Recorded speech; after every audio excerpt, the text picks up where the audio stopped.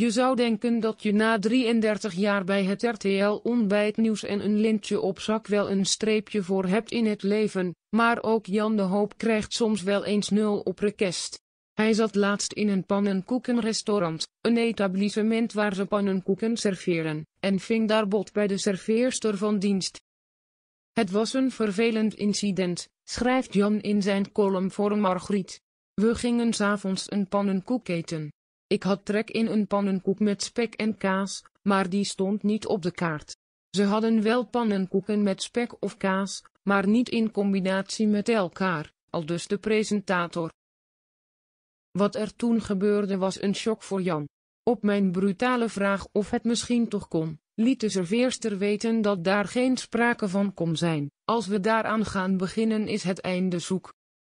Vooral de starre houding van de serveerster was voor Jan onbegrijpelijk. Het is immers geen hogere wiskunde om zowel spek als kaas op een pannenkoek te leggen, zelfs als dat niet op het menu staat. Je kunt van een restaurant verwachten dat ze iets meer klantgericht zijn, aangezien klanttevredenheid met name in de horeca van levensbelang is. Het kan natuurlijk ook zijn dat Jan in een heel goedkope keten zat te eten waar een strikt menubeleid geldt, bijvoorbeeld vanwege voorraadbeheer of consistentie in de bereiding. Net bijgekomen van deze teleurstelling bleek thuis dat een plastic klepje van onze koffiemachine door de vaatwasser was verkleurd, vervolgt hij.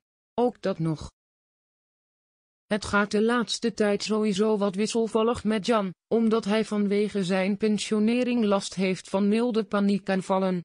De laatste tijd heb ik vaker last van paniekaanvalletjes. Heel gek. Het is ineens begonnen. Op een dag die is gevuld met allemaal leuke dingen gaat er dan ineens een schok door mij heen. Lieve help, ik ben al 68. Statistisch gezien heeft Jan gemiddeld nog zo'n 12 jaar te leven. De finish komt angstaanjagend in zicht.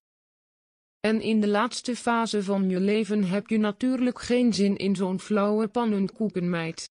Ik weet dat er veel ergere dingen zijn in de wereld.